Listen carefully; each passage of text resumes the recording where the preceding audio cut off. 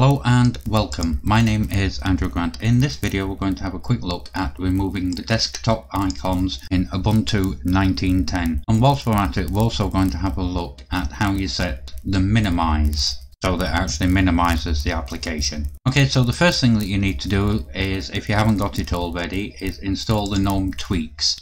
You just go to the software center and tap in GNOME tweaks into the search bar it'll come up and you can install it from here. As you can see I've already got it installed so we'll just launch it. Okay I'll get rid of that. And here we go.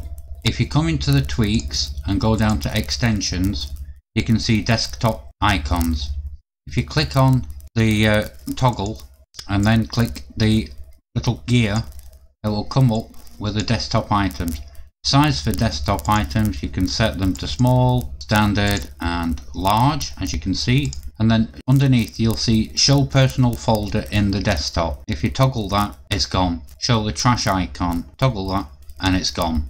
Then click off and then you can just click the toggle button. Okay so that's all there is to that. Now to set the minimize just go down to windows title bars and then just here you see title bar buttons minimize. If you toggle that like so and now if you toggle it will actually minimize. Okay that's all for today. Thank you very much and I'll see you in the next video. Have a great day